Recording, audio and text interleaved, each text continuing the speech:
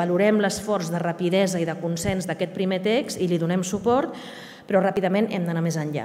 En concret, nosaltres ja vam plantejar des de Barcelona que tenim un problema amb el mercat privat de lloguer, que ara mateix és, un, és una font constant d'exclusió residencial.